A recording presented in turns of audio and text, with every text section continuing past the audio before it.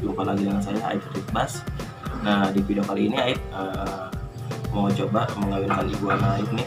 Kebetulan Aib punya iguana jantan. Ukurannya belum begitu besar.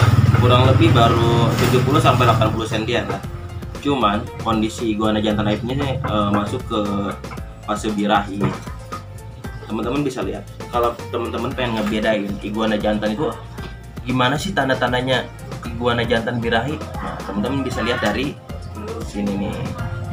Untuk iguana jantan yang mulai birahi, dia biasanya mempunyai uh, ciri fisik. Femoralnya ini uh, mulai pada tumbuh, mulai pada panjang. Teman-teman bisa lihat di sini nih. Ini femoral nih, teman-teman. Berada di bagian paha bawah. Dan selain femoral, uh, iguana jantan pun mempunyai ciri fisik seperti happy penis. Happy penisnya ini mulai menjendol. Mulai menjendol. Teman-teman bisa lihat di bagian bawah pangkal ekor. Di sini ada dua kanan kiri.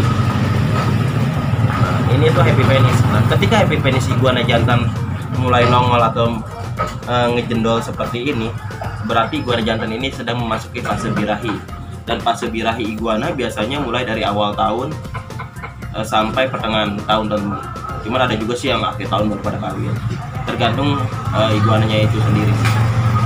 Nah, iguana jantan aib ini sebenarnya untuk umur dia belum terlalu matang belum terlalu cukup umur sebenarnya untuk dikawinkan. Cuman aib mau mencoba untuk mengawinkan karena iguana aib ini udah masuk ke fase birahi.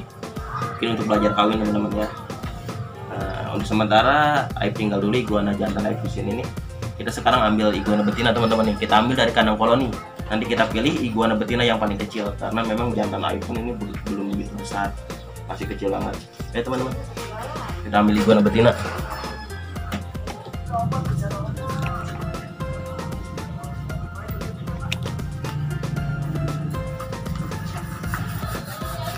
Nah,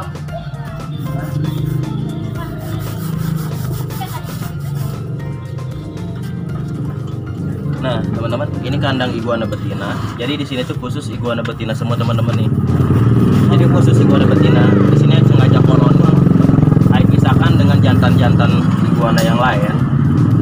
Ketika mereka disatukan ketika musim kawin saja teman-teman. Nah, sekarang kita ambil nih salah satu iguana betina yang paling kecil. Nanti kita coba kawinkan dengan jantan iguana aib yang kecil yang tadi teman-teman. Kita ambil, kita pilih salah satu yang paling kecil. Nah,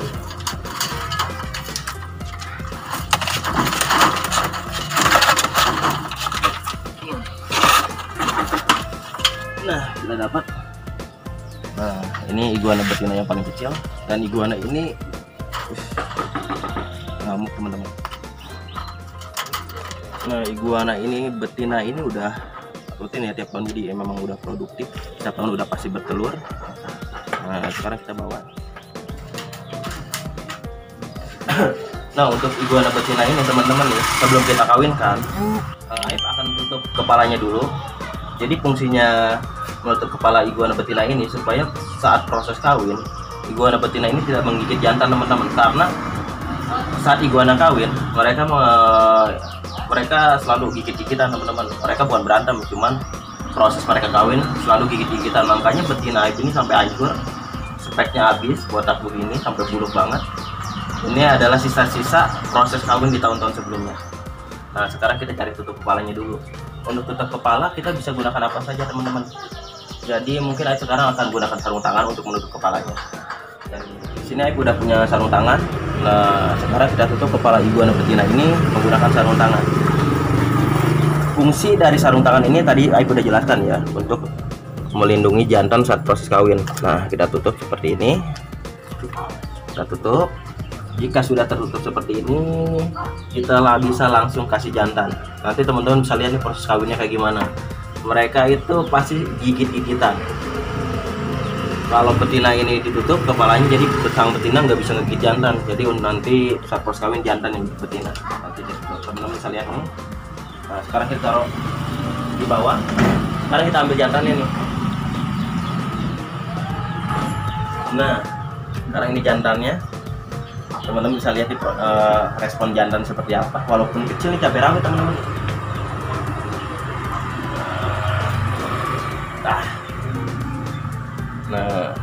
ini adalah proses kawin. Jadi saat iguana kawin uh, jantan atau betina dia selalu gigit-gigit.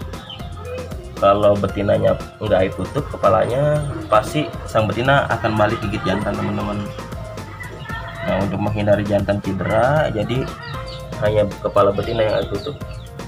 Jantan sengaja nggak tutup karena kalau ditutup susah kawin ya teman-teman. Kita lihat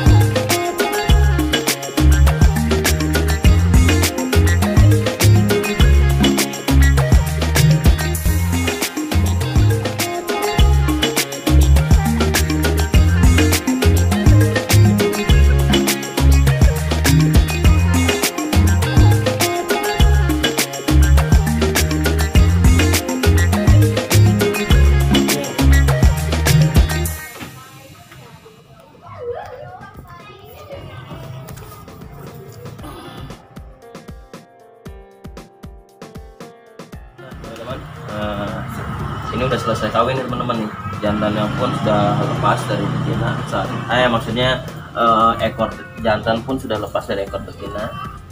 Nah cuma si jantan masih tetap gigit nih. Ini berhubung sudah selesai kawin jadi bisa langsung kita pisah nih. Nah. Ini walaupun kecil cabai rawit teman-teman nih. Jantan baru ukuran 70-80 cm cuman dia udah birahi dan udah mau kawin betina gila. Keren banget gacoan nih. Nah, jadi buat teman-teman yang punya iguana jantan dan iguana dan iguana betina saat mau dikawinkan iguana betinanya susah untuk dikawinkan. Teman-teman bisa pakai cara yang saya pakai. Jadi sang betina kepalanya ditutup supaya si betina itu tidak gigit jantan teman-teman. Nah, nanti teman-teman coba deh. Pasti aman. Proses kawinnya pun pasti lancar okay, uh, ayo rasa cukup video kali ini. Jangan lupa like, share, dan subscribe video Reptil DKK agar kalian nggak ketinggalan video-video selanjutnya. Oke, okay, rasa cukup. Assalamualaikum warahmatullahi wabarakatuh.